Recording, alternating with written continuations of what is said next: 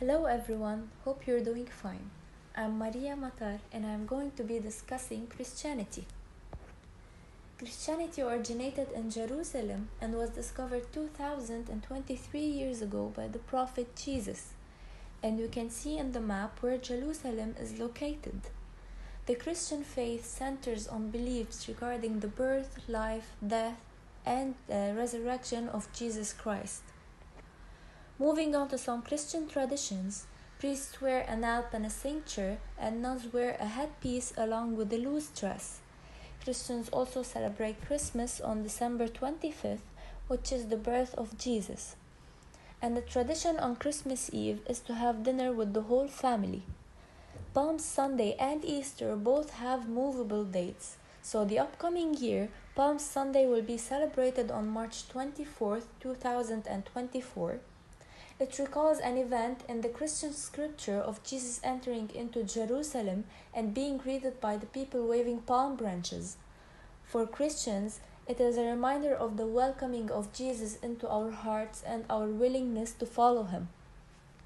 And Easter will be celebrated on March 31st, 2024, when Jesus has risen after he was crucified the Friday before. One of the Easter traditions is coloring boiled eggs and bumping them against each other to see who would win. Also, Christians start fasting 40 days before Easter, and on the day Jesus will rise, it will be the last fasting day. Moreover, Christians usually baptize babies at the age of six months. It symbolizes the purification or regeneration and admission for the Christian church. Christians also have a Holy Communion at the age of nine years old. It is the service of Christian worship at which bread and wine are consecrated and shared. Moving on to Christian culture, both weddings and engagements are done by a priest, and at each wedding, bridesmaids and best men should be included. And about the funerals, condolences are held in the church or at the house of the person that has passed away.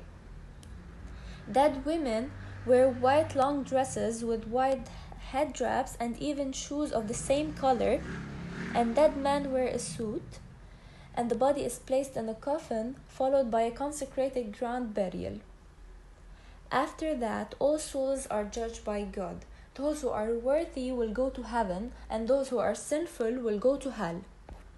These are three movies that tell stories about Christianity the Passion of the Christ, Son of God, and Risen. And this is a clip from the movie Son of God when Jesus has made a miracle and has fed many people that didn't have any food. Thank you, Father, for what you bring us.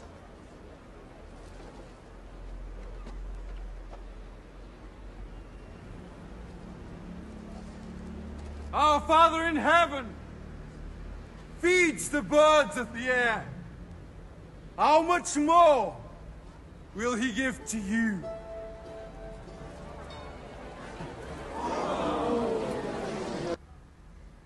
Thank you so much for your attention and time.